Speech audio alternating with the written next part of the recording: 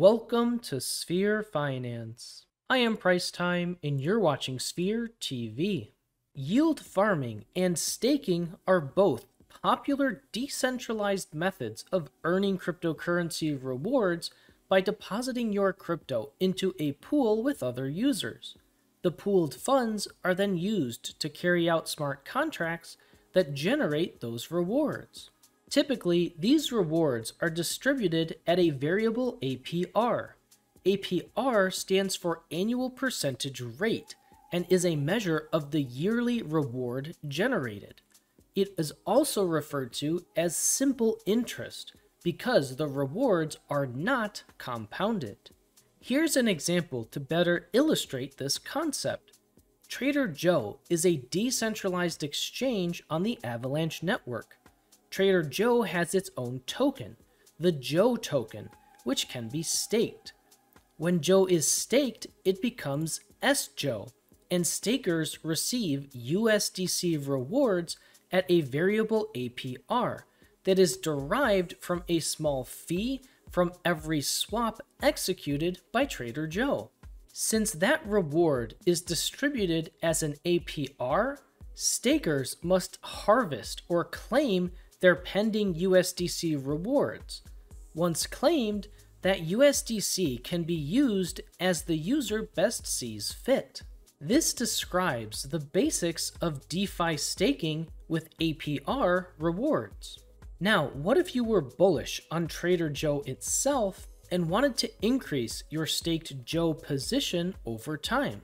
Well, you could harvest your USDC rewards, use Trader Joe to swap that USDC to more Joe, and then stake that new Joe back into the vault.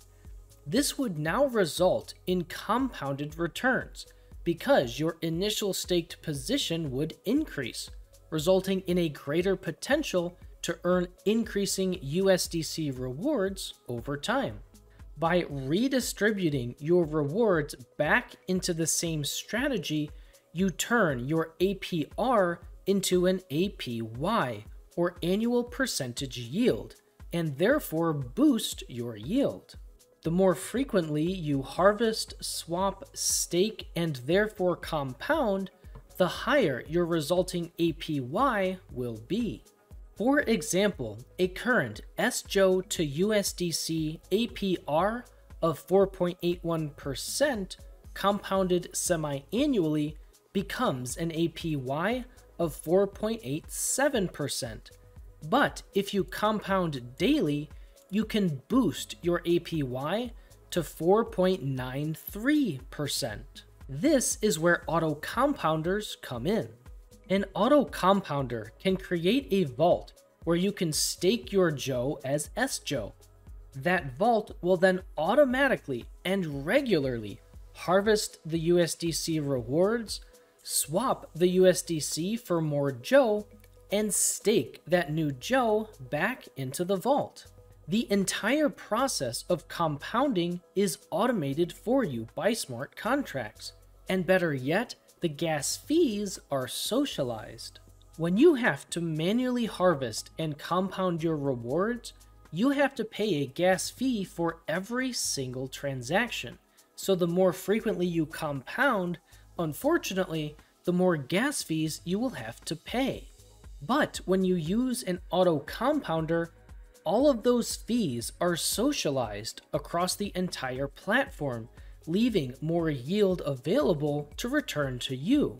Now the process of staking Joe to S Joe becomes more capital efficient because you do not repeatedly have to pay gas fees and becomes automated thanks to the auto compounder's smart contracts performing all required transactions behind the scenes, while you sit back and enjoy your auto compounded rewards.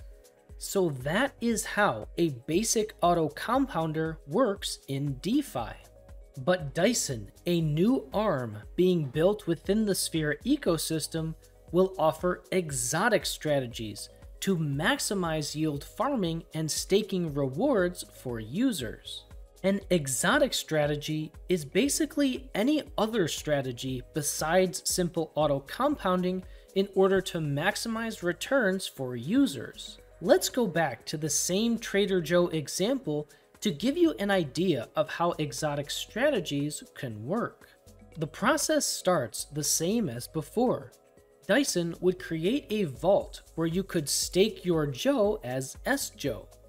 Dyson would then automatically and regularly harvest the USDC rewards. But this is where things get different.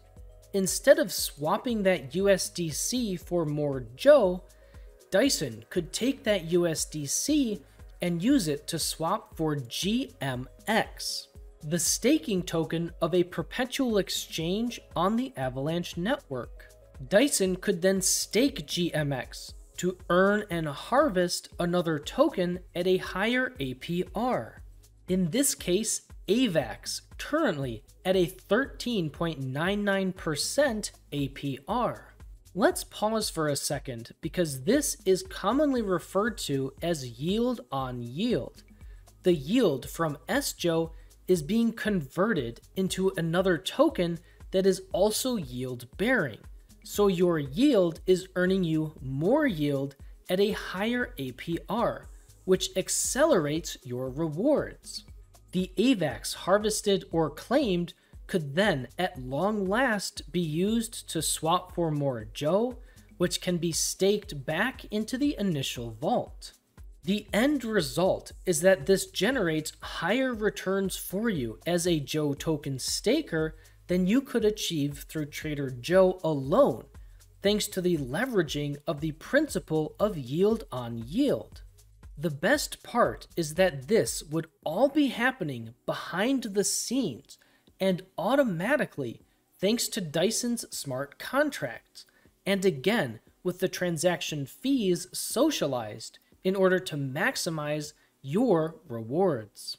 This is an example of how Dyson can increase the capital efficiency of the yield farming and staking DeFi space. With the introduction of these types of reward maximizing vaults, Dyson will set a new precedent of what is possible within DeFi. And for those of you who are curious, no, Dyson will not have its own token. Rather, performance and vault fees from Dyson will be directed into buying and burning the Sphere token. This means that Sphere holders can both earn maximized yield and support the Sphere ecosystem by simply using Dyson. Additionally, any governance required for Dyson will be conducted using VE Sphere once VE Sphere is released, so be sure to stay tuned. The best place to stay up to date on announcements or contact us is through the Sphere Finance Discord. Check the description below for official links. You can also leave us a comment below and we will do our best to help. After all, this video and channel is for educational purposes only and is not financial advice. Thanks for watching and always remember that you matter for who you are.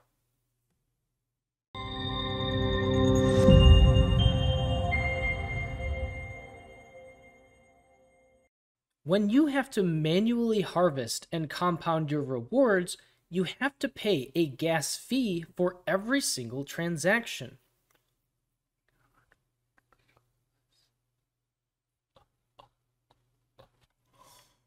Oh, the pain.